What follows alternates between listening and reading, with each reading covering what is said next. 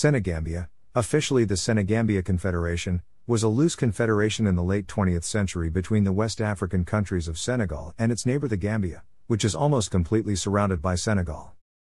The Confederation was founded on February 1, 1982, following an agreement between the two countries signed on December 12, 1981.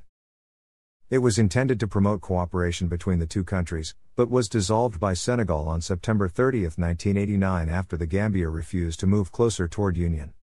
The Senegambia Confederation should not be confused with the historic Senegambia region, generally shortened to the Senegambia.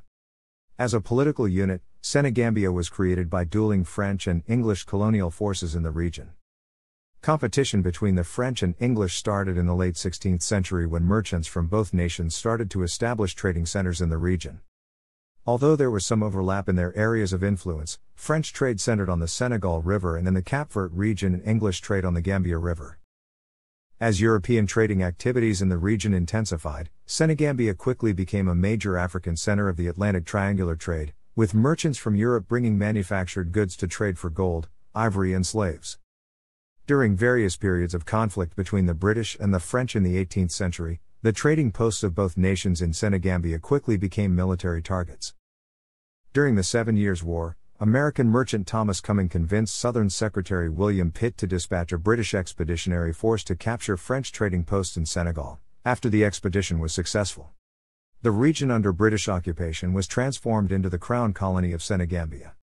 The unified region collapsed in 1779. With the British occupied by the American War of Independence in North America, the French recaptured St. Louis and destroyed the largest British trading post in the Gambia region.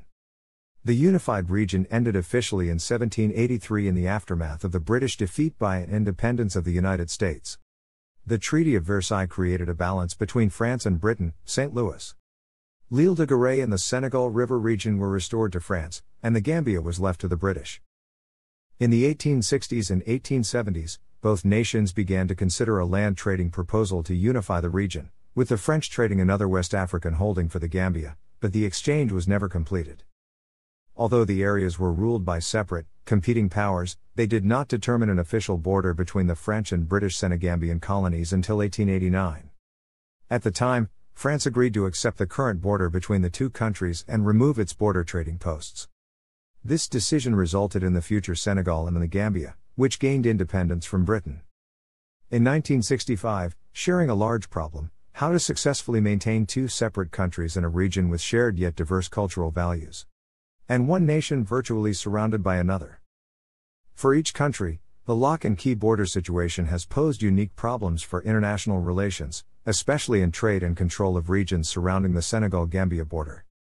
One of the greatest problems for both countries is the ease with which violence could spread through the region. With shared ethnic communities on both sides of the border, a successful coup in one country could lead to a group of sympathizers in the other, bringing danger to the democratic regimes of both countries. This fear was realized during the 1981 coup attempt to oust President Dawda Jawara of the Gambia.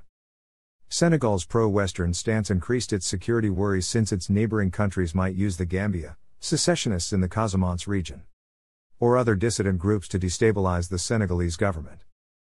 Specific threats came from Kwame Nkrumah's Ghana, Moussa Traore's Mali, Ahmed Sekou Touré's Guinea, Joao Bernardo Vieira's Guinea Bissau, and Muammar al Gaddafi's Libya.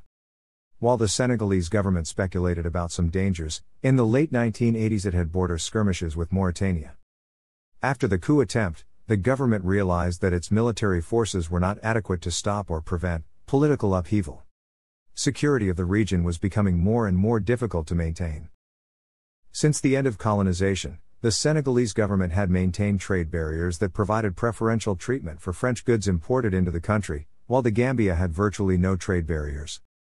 The opposing trade policies fueled a large black market around the Senegal Gambia border, which brought cheaper manufactured goods into Senegal. The black market also attracted an export drain into the Gambia. The Senegalese government began to institute a delayed payment system with its groundnut farms. When farmers sold their harvest to the Senegalese government, they would get a voucher, known as a chit, which they could turn into cash after a three month waiting period. Not wanting to wait for the Senegalese marketing system to pay them, more farmers began to smuggle their goods to Banjul, where the Gambian government paid in cash, by 1990. estimates show that 20% of the Gambian groundnut market was from smuggled Senegalese crops. In the short term, the Senegambia Confederation was a pragmatic union based on a mutual security interest. As noted, the Senegalese government feared national instability caused by uprisings in either the Gambia or the Casamance region.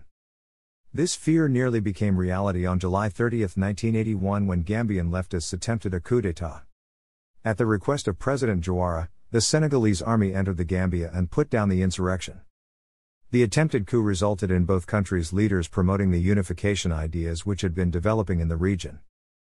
Leopold Sedar Senghor, first president of Senegal, was one of Les Trois Pères of Negritude, a literary and ideologically socialist movement of Pan Africanism. Encouraging Africans throughout the diaspora to embrace their shared culture.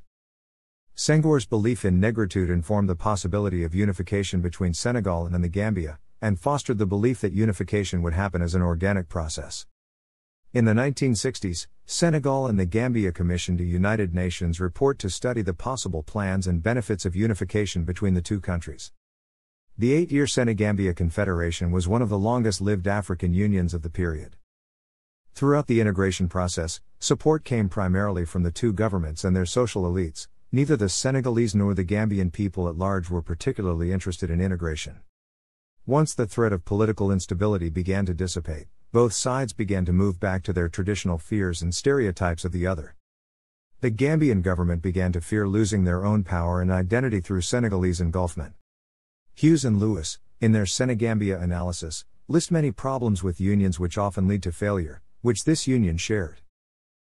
According to Arnold Hughes, the Gambians had two primary concerns one was a reluctance to fully integrate economically, and the other worried that the Senegalese would opt for a unitary Senegambian state rather than a confederation.